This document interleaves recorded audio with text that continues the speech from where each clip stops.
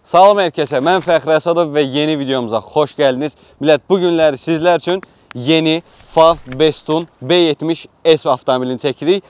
Hansı ki, elə indicə düşürtmüşük. Gömrükdən indi çıxardıb gətirmişik. Avtomobilimizi hələ şəhərdə görə bilmərsiniz. Eksklüziv ilk incələmə bizdədir. Look, I'm about my pledge. I'm decked up on blue bills, and I won't stop until the cash pit look like fall leaves in a backfield. Tell her out of my face if she coming with that bull. Quick to say my piece, I'm so after school special. She bring it. Deməli. İki dənə avtomobil görürsünüz yanımızda. Biri albalı rəngində. Yəni, xanımlar bu videoya daha diqqətlə baxsın məncə. Çünki B70S-in albalı rəngi çox qəşəng görünür günün altında. İndi kamerada nə dərəcədə yaxşı düşür, onu artıq Stas biləcək, dəqiq bilmirəm. Yan tərəfimizdə də gördüyünüz kimi bir dənə Nardo Grey də deməsəm, tünd boz rəngdə bir Bestun B70S-imiz var. Fərqi nədir? Biri 1.5 litr həcmindədir, biri isə 2 litr həcmindədir. 2 litr həcmində olan isə full komplektasiyadır. Onu da deyim. İstəyirəm elə fərqlərindən başlamışkən birinci avtomobilimizin mühərrikxanasını açım, sizə avtomobilimizin performansı, mühərriki haqqında məlumat verək. Daha sonra artıq ətraflı incələməmizə başlayaq. Kapotumuzu açdıq. Burada belə bir çubuğumuz var. Çinlilər xoşlayırlar bu çubuqdan əl çəkmirlər. Amortisator istəyərdik olsun.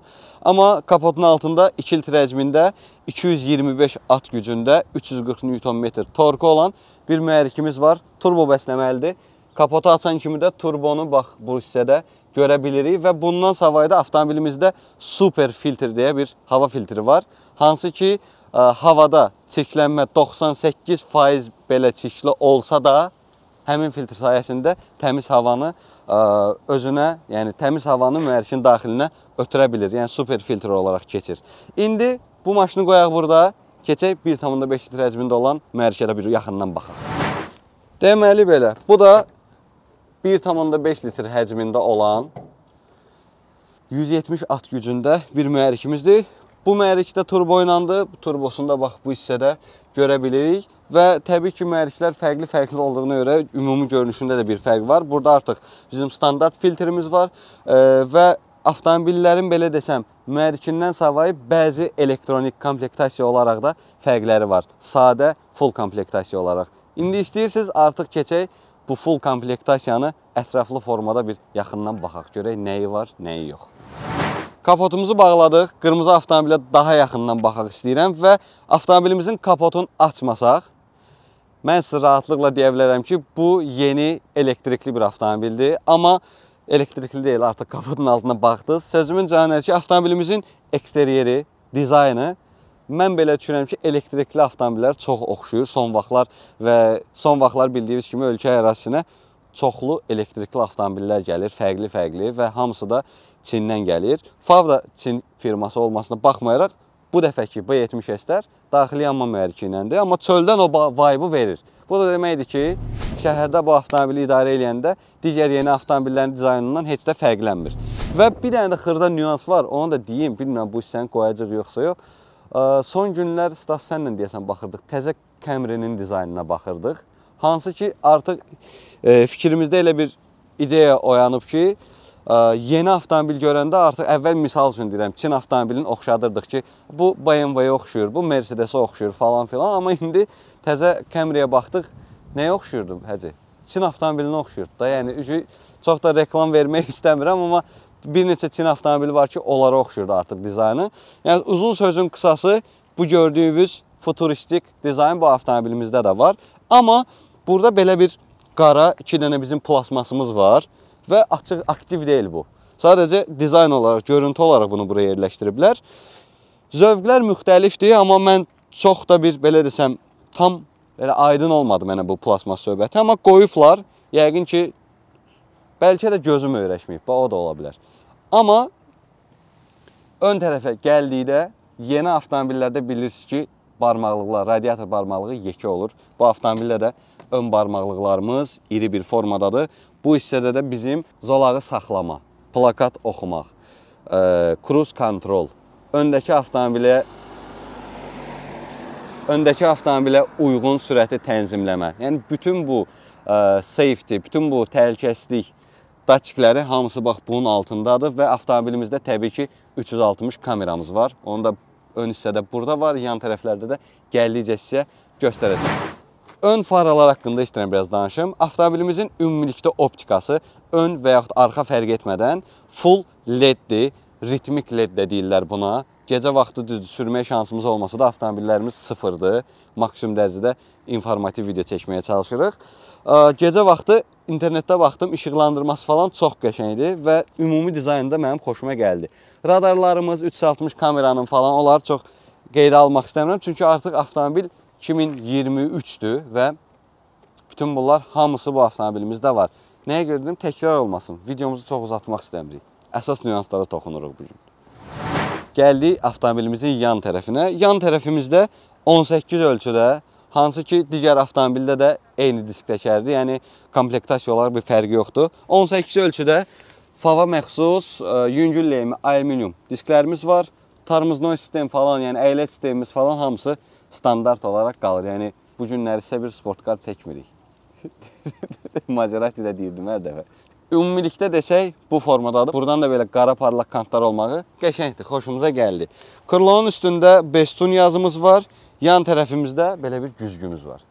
Güzgünü niyə belə sığallayıram? Çünki güzgümüzün də üstündə kör nöqtəni görmək üçün olan sistemimiz var. Bunun da altında bizim 360 kameranın bir kamerası da buradadır.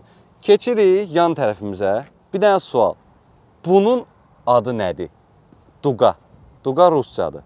Azərbaycan dilində bagaj qoymaq üçün aparat deyərdim. Railing də məncə. Amma Azərbaycan dilində deyil. Hə də Azərbaycan dilində olmadığı dəqiqdir. Railing deyək. Belə railinglərimiz var və xoşuma gəldi. E, normalda içinə batmış formasında olur. Amma bu avtomobildə belə dizayn buna da dizayn verməkləri xoşuma gəldi. Fərqli bir yanaşma olub. Panoramik damımız var, tamamilə şüşə bu hissədə. Yan tərəfimizdə ümumi amma e, misal üçün bax buralar falan standart qara mat rəngindədir. Burada 2 ədəd bizim qara parlaq zonamız var. Ümumi avtomobilimizin yan tərəfi ilə bağlı deyə biləcəklərim bu formadadır.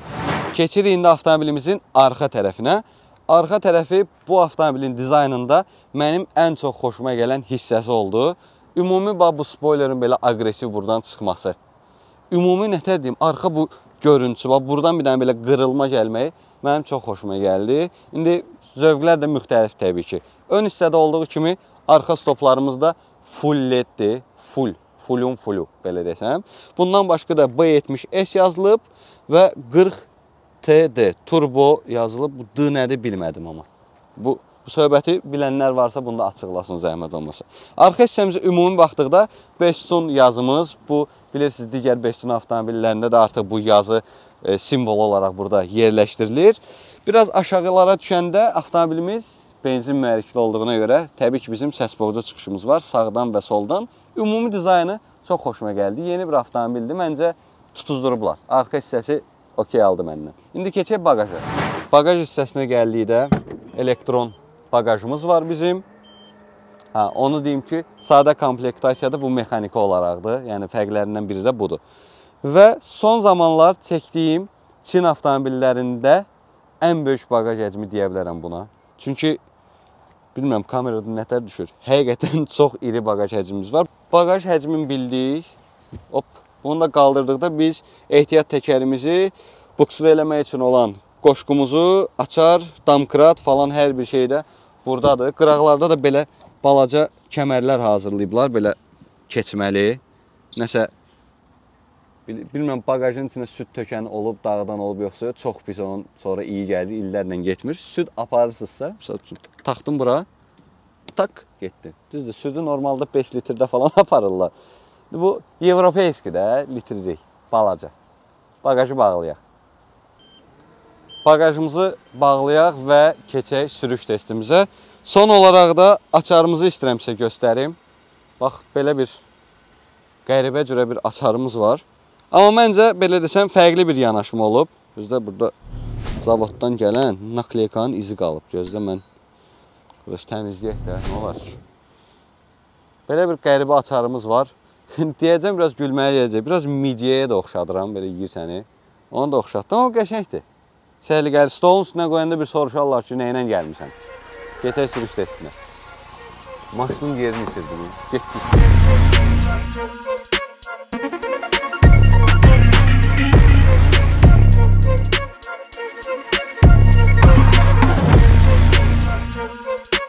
Hoppa.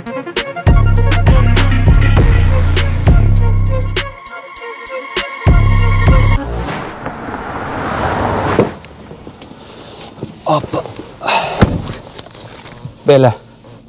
Gəldik, oturduq Beston B70S-in interyerindəyik. Çox geniş interyerimiz var. Qəşəngdir. Ümumi belə deyim, sürücü özünü komfort zonada hiss eləyə bilir rahatlıqla. Çünki orta konsolumuz və ön hissədə bizim sörf taxtasına oxşayan, mən sörf taxtasına oxşadıram bunu həqiqətən. 2 ədəd böyük 12.3 düymlük monitorumuz var. Multimedia falan hamısı buradadır. Ön hissədə isə rulun arxa hissəsində isə bizim əsas monitorumuz var. Burada biz avtomobilimizin bütün demək olar hər bir şeyini, benzini, temperaturu, sürətləri falan hamısını burada görə bilirik. Çox uzatmadan istəyirəm avtomobilimizdən ümumi bir baxışaq. Nə var, nə yoxdur.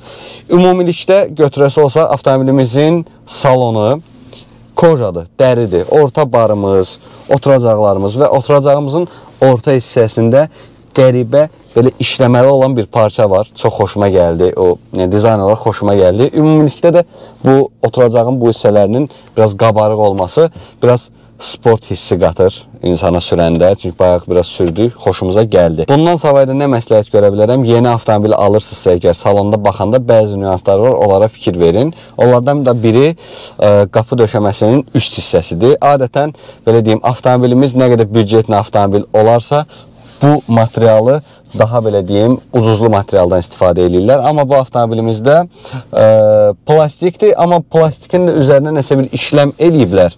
Soft plastik mi deyim, belə deyim, ya da nəzik dərimi, bax belə bir his verir. Amma ümumi qol qoyanımız, konsolumuz, ümumi döşəmənin iç hissəsi hamısı dəridəndir və bundan savayı ümumilikdə avtomobilimizdə sarı xətlənmələr var. Bizim oturacağımızda sarı xətlər var. Bundan savayı qapı döşəməsində sarı xətlər var. Yəni tikişlər sarı rəngdədir. Orta konsolda da belə desəm, həmin xətlənməni biz görə bilirik. Bundan savayı avtomobilimizdə ambians işıqlarımız var. Düzdür, indi günorta vaxtı ambians işığı ambians işığı çox hissə göstərə bilmirəm.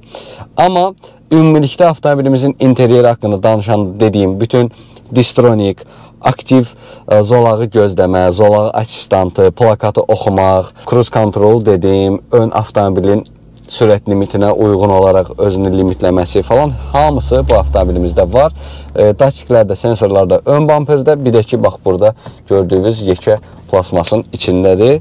İstəyirəm yavaş-yavaş avtomobilimizi idarə eləyək. Bu günləri sürəcəyimiz avtomobil 2 litr həcmindədir, 225 at gücüdür və qeyd eləyim ki, bu göstəricilər gündəlik bu tipli bir avtomobil üçün çox əla bir göstəricidir. Bunu da nəzərinizdə saxlayın. Deməli, sürüş testimizə avtomobilimizin sürətlənməsinə keçməzdən əvvəl istəyirəm biraz sizə interyerlə bağlı elektronik cəhətdən məlumatlarımı verim.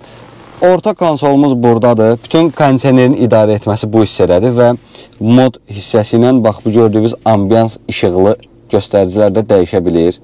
Ayağa vursun, nə bilim, ortaya vursun, yuxarı vursun falan bu formada. E, bundan əlavə oturacaq isidicimiz var, amma bir pilləlidir, yəni on off, yəni 2 leveldə, 3 leveldə deyil, onu deyim. Ortada böyük bir barımız var. Bunu açan kimi də 2 ədəd stəkan yeri var. Bunun da ön hissəsində balaca belə deyim, kaşlyok da qoya bilərsiniz. Bundan əlavə avtomobilin açarını da bura qoya bilərsiniz. Aktiv İPB olaraq keçir, elektron parking, yəni avtomatikdir, yəni elektriklədir rüçnoyumuz. 360 kameramız var. Full komplektasiya olduğu üçün bu avtomobildə bu aktivdir. Baxmaq istəsək sadəcə knopkaya basırıq və rahat bir formada arxa, yan, böyür, bundan başqa da düzürüm 2D eləyəndə də belə bir formada avtomobilimizi görə bilirik. Və ön hissəni 180 dərəcədə göstərə bilir. Gözdə onu da belə bir formada göstərim. Ön, sol, sağ və arxa hissəni tam formada görə bilərsiniz. Bir sözlə bu avtomobili park eləmək rahatdır, sürmək rahatdır, təhlükəsizlik cəhətdən. Və olmazsa olmaz yekə bir qol qoyanda burada bir bardaçokumuz var, cibimiz var. Bunun da içində 12 voltluq standart bu zajiqalka girişi deyirlər. O da bu hissədədir. Bundan savayı ciblərimiz bitmir. Orta konsolun alt hissəsində də biz telefonu qoymaq üçün burada hissəmiz var. Onun da yanında Type-C və USB portumuz da var. Multimedia cəhətdən isə avtomobildə 2-3 günlük söhbət var. Çünki vehicle hissəsinə girəndə bax burada desək, zolağı tutma, bayaq saydığım bütün sensorları burada idarə eləyə bilirik. İstəsək hansısa deaktiv, hansısa aktiv eləyə bilirik. Zolağın işarəsi hansı formada versin, yuxarı səslə, aşağı səs hansı tonda versin. Bundan başqa ə, zolağı tutma zamanı sizə ə, hardan vibrasiya versin falan. Buna kimi hər bir şey var və təbii ki, plakatı oxuma. O nə deməkdir? Yolla gedirsiniz, 90 yol. Keçdiniz plakatı görmədiniz, amma sizin əvəzinizə avtomobil bunu oxuyur və burada qeyd eləyir ki, bura 90-dır. Haçını istəsəz burada o yazını görə bilirsiniz və düzgün də oxuyur, işləyir, test eləmişik. Ə, komfort hissəsinə də gəldikdə Amerikanka kimi də eləyə bilərsiniz maşını. Pultu basanda bir dəfə basaq, ancaq şofer qapısı açılsın, ikinci də basanda bütün qapılar açılsın və yaxud da ki, Evropeyka variantı bir dəfə bastım, bütün qapılar açıldı. Yəni, bütün bu xırda nüansların hamısını siz burada bu monitorumuz vasitəsilə eləyə bilərsiniz. Bundan başqa Bluetooth falan, multimedia hər bir şeyimiz var. 3D səs sistemimiz var. Avtomobildə 6 dinamikimiz var. Yəqin ki, 4-ü qapılarda, ikisi isə bizim bu dayaqlardadır. Onu da demiş olaq. Qarşılama var, yəni evə ötürmə var. Maşın saxladınız, söndürdünüz, işıqlar yanır. Bunda saniyəsini özünüz seçə bilirsiniz. 10 saniyəmi yanlı qalsın, 20 saniyəmi və s. Belə, məncə çox danışdım bütün məlumatları verdik. Bax gördükcə yenə deyirəm, kör zonamız var güzgülərimizdə. Güzgülər avtomatik açılır, bağlanır. Bundan savayı da güzgülərin də isidicisi var. Bunu da nəzərinizdə saxlayın. Gedək. Sükanımız favın sükanıdır, multi sükandır, dəri üzləmələrdir. Üst-alt hissəsi standart, kənarlar isə belə desək, dəlikli olan e, dəridən istifadə eləyiblər. Yavaş-yavaş sağ.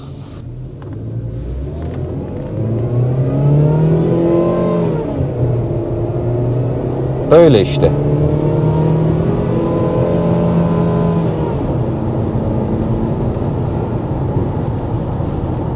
Sürətləməmiz standart, yəni normalda nə formada olursa eyni formada. Sportkar çəkməndə bilirsiniz ki, mən sürüşdə o qədər də zövq ala bilmirəm. Amma daily sürməyə, yəni bu avtomobili sırf necə bərk gedir və yaxud yavaş gedir söhbəti olaraq düşünmürəm.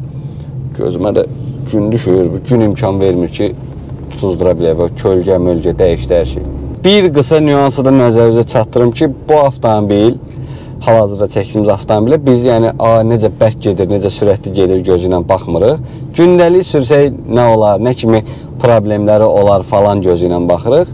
İzolyasiyası yaxşıdır, içərisi çox freshdir və deyəcəm CLA 45 çəkmişdik yadınızdadsa AMC. Onun salonundan qat-qat yumuşaq, qat-qat genişdir. İndi deyəcəksiniz ki, fəxr, eyni sinifin avtomobilləri deyil. Niyə deyirsən? Prosta deyirəm qardaş. Elə bil dostumla oturmuşam yolda danışıram ki, qardaş. O darı idi, bu amma daha rahatdır. Və rahatçılıq cəhətdən bir şey də yadıma düşmüşkən deyim, avtomobilimizin oturacağında da memory pack var, yəni yaddaşlı oturacaqlardır. Amma yəni 2-3 modu yoxdur. Standart bir vəziyyətə gətirirsən, sadəcə qapını açdınız, avtomobil sizi başlayır salamlamağa. Belə desəm, ona görə qapını açanda oturacaq arxaya gedir, rahat əyləşirsiniz. Daha sonra daha sonra əyləşəndən sonra özü təzədən axırıncı pozisiyasına gətirir, çıxardır. Xoşuma gəldi. Amma ə, sərnişin tərəf üçün eynisini deyə bilmərəm. Sərnişin tərəf mexanikidir. Niyə belə eləyirlər bilmirəm. Yəqin ki, bir bildikləri var. Yəni bu bu qədər komplektasiya, hər şey dolu, dolu, dolu, dolu. Sırf sərnişin tərəfi niyə elə bir şey eləmirlər, onu yalan deyərəm. Amma oturacaq isidicisi var, yəni sərnişin tərəfində onu deyim. Transmissiya haqqında danışası olsaq, avtomobillərdə transmissiya fərqlidir. 1.5 litr həcmində olan avtomobilimizdə 7 irəli DCT transmissiyadır. Hal-hazırda idarə etdiyimiz avtomobildə isə Toyota'nın 6 irəli pilləli tam avtomatlaşdırılmış bir transmissiyası var. Məncə buna da artıq ölüm yoxdur da. Toyota söhbətin içində varsa başqa şərhə ehtiyac yoxdur. İndi mənə deyəcəksiniz ki, qardaş, bəs bunun sərfiyyatı belə ekonom, gündəlik deyil avtomobil deyirsən. Avtomobilimiz 92 oktanlı benzinlə işləyir. Yəni zavoddan bu Nokia alınıb və görsən dediyimlə eyni oldu. Benzinimiz azdır. Sıfır avtomobil çəkirik deyə içində az benzin olub bildiyiniz kimi. 92 oktanlı benzinlə çalışır. Bundan sonra 1.5 litr həcmində olan, yəni standart komplektasiya olan ə, Bestun B70 S-lərdə ortalama şəhər içi 7 litr, 2 litr həcmində olan avtomobildə isə 8 litr olaraq ortalama nəzərdə tutulub. Məncə günümüz avtomobillər üçün və 92 oktanlı benzin nəzərə alsaq, olduqca ekonom bir avtomobildir. Belə. Məncə qəşəngdir. Amma arxası xoşuma gəldi, arxası həqiqətən qəşəngdir. Belə, bu da sizə Bestun B70S. İndi deyəcəksiniz ki, fəxri, orasını danışdım, burasını danışdım. Bəs bunların qiyməti neçəyədir? Qiymətini də deyim sizə. Full komplektasiya 2 litr həcmində olan 42900 manatdır. Yan tərəfimizdə sadə komplektasiya 1.5 motorlu olan isə 38900 manatdır. Kredit şərtləri ilə maraqlanırsınızsa, ümumiyyətlə avtomobili canlı görüb test etmək istəyirsinizsə, Cahan Motorsa da yaxınlaşıb avtomobillərlə daha yaxından maraqlana bilərsiniz. Bizim videomuz bu qədər idi. Zəhmət olmasa videomuzu bəyənməyi, kanalımıza abunə olmağı da unutmayın. Videomuz bu qədər idi. Özünüzə yaxşı baxın, sağ olun, salamat qalın. Biz qaçdıq. Stas. Biri səndə, biri məndə. Götür getdik. Apar məni, sıxır bu şəhər məni.